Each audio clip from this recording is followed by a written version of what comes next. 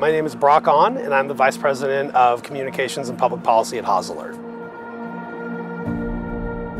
Local municipalities, you know, we have thousands and thousands of cities out there, and they all need to find a way to get connected. One of our big focuses at Haas Alert is the fact that we can't do this alone. And so what we've done is we're partnering directly with the universe of vendors and manufacturers that are already working with the customers that need this service and use it every day. In our demo drives out here this afternoon, you're going to experience four different types of alerts in the Stellantis vehicle. There's a emergency vehicle alert.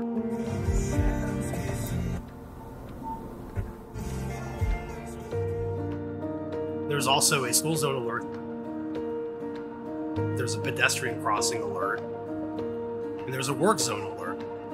We're empowered by our partnership with Applied Information.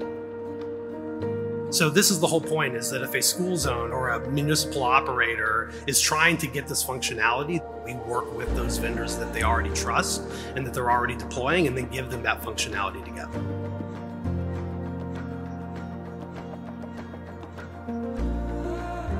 Our alerts are delivered already in over 2 million vehicles on the road. Jeep, Dodge, Ram, and Chrysler vehicles under the Stellantis brand have all rolled these alerts out inside their vehicles 2018 and newer. This was an over the air update. There were Jeep drivers that bought their Jeep in 2018 that last year they got in their car and then all of a sudden their car was talking to the things around them.